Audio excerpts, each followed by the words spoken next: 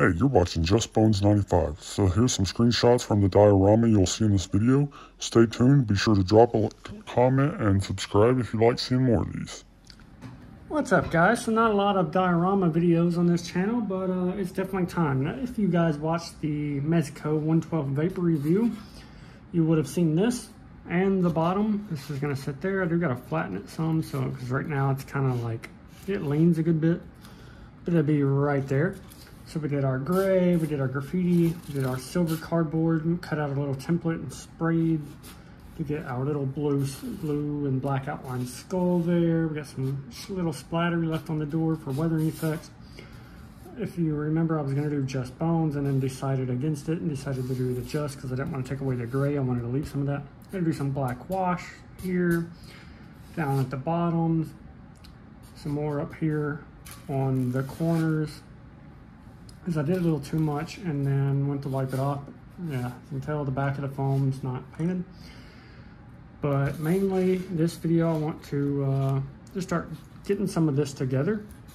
Mainly going to be doing the bottom here. So yeah, talking about our foam here. So as you can see, just a square, normal foam board. Um, it is a little bold toward the center. But wait, and I think we can probably fix that by cutting a slit in the back. When you cut it and you press, it kind of gives it that weird bowl thing. As you can tell, I started through some little weathering here. I had the crack, um, the hose for the magnets. Got a little scratch there, which I'm gonna kind of do some cutting and stuff on that. But for starters, first thing that we're gonna wanna do to this is take our bulb foil. You've probably seen this on a lot of videos. And look, there's, so there's no texture. I mean, there the foam does have some texture, but not really. So just randomly rolling it around, applying different pressure. And what I'm doing here, I'm getting close to this line, but I'm not gonna press on this line a lot. I'm gonna go pretty light on that line because it will kind of change the lines a little bit. And I want there to be clean lines. So basically it looks like they just took the concrete and dropped it in. And then maybe near the line, we'll just kind of give it these little dabs here, different parts of the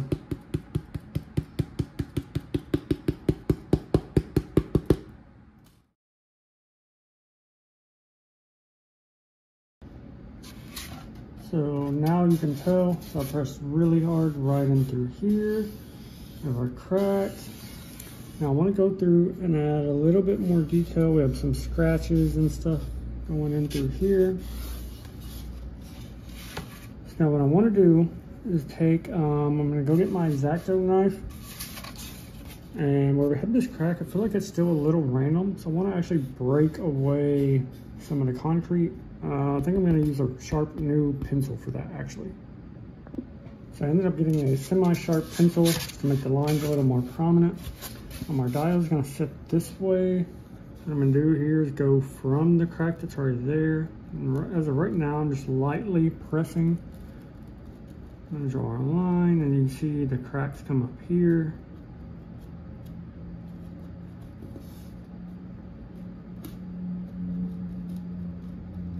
Start pressing into those lines, exact same line, following it a little further.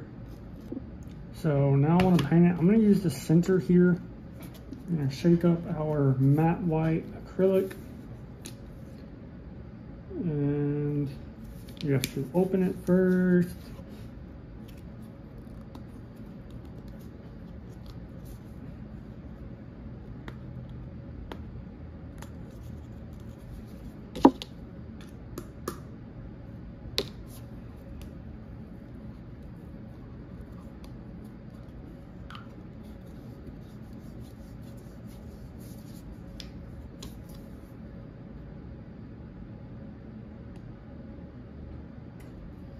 yeah, that is a pretty good bit of paint, but it also is going to be absorbent and it's going to dry quick. I'm going to do that. I'm going to mix in my touch of black. We have our Apple Barrel black.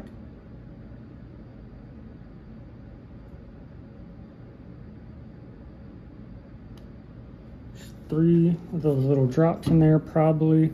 You already buy gray paint that works great. Um, I like to do this a little cheaper and just mix my own. You just have to be careful with it. Eventually you learn like how much to mix and not to waste. And best thing you can do really is if you're gonna go ahead and do black and gray, find other stuff that you know is also gonna be gray. And just try to do a lot of it at once so you're not wasting what you mix up. So I have this little plastic spoon thing here. It's literally just a super tiny spoon. Um, it come with one of those little jellyfish lights. The little dancing jellyfish lights. It's like so you can put your soap and water in there and kind of mix it up to get the air bubbles and stuff out, I guess. But you'll mix this up until we end up with our nice gray color. And the goal is just to get it all covered. So our base has mainly dried. So I took cup of water, some black paint. I mean, you can see how thin it is. It just kind of runs down. So what I'm gonna do is I'm gonna stand it up. I'm gonna very lightly, a little test. I'm gonna add some more water, actually.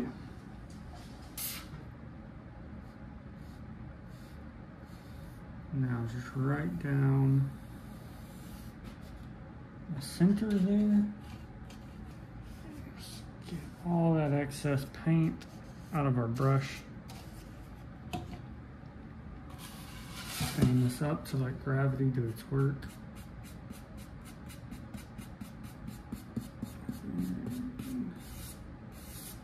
And run the brush back down it. Brush over it again over again. And then very, very lightly. And basically by leaving the brush really dry after putting on the wash, you'll keep pulling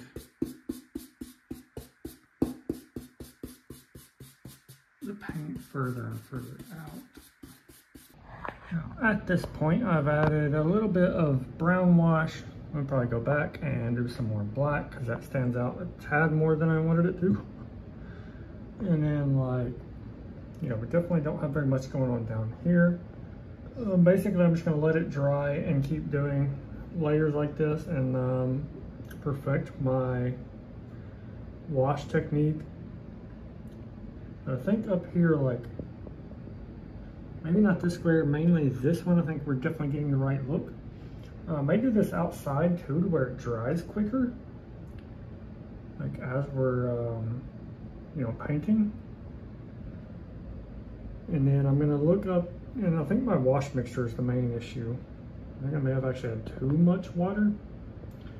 So I'm gonna do some more wash and then go back with the dry brushing and then go in and do my little oil splashes and stuff with this.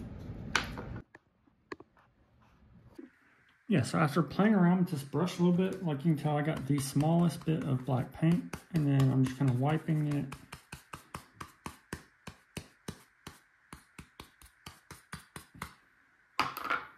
It's very dry, and you see where I did it over here on the edges.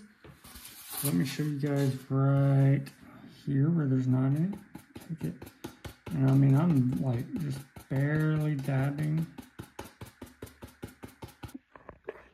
Okay, here we are. So this is after like me going back and forth like 9 million times to try to get a concrete look. And I mean, you can tell like my wash is way darker there, but I feel like if I dark it there, it's gonna mess up here. And then my wash kept getting weird here. My lines aren't that prominent anymore. I just kept going back, going back, and going back, and redoing this. And um, yeah, I don't know, like I'm fairly happy with it. And I feel like from a distance, it does capture like concrete pretty good. Like over in here on camera looks really good. This area I'm not super happy with, but I'm just gonna take my pencil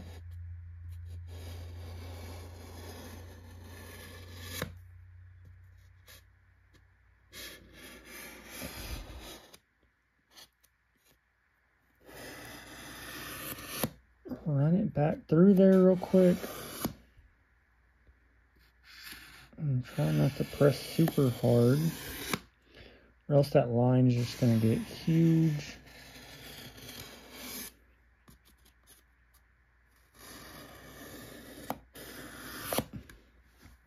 And I mean, that decently brings it back. But see, when you put that, when you see it like all together, I think with all the details and stuff being there, it'll actually be pretty good. So, zoom out real quick. Yeah, so like seeing it all together, I think I'll be fine. I do got to do gray around the edges and stuff still, or just black, I don't know. But my glue gun's heating up right now. I'm to get the magnets in for the back. And then I have these I made out of wooden dowels. These are to be my little light, or not light pose, little um, pose, just bump pose or whatever. So I'm going to glue both of them down slightly in front of that door.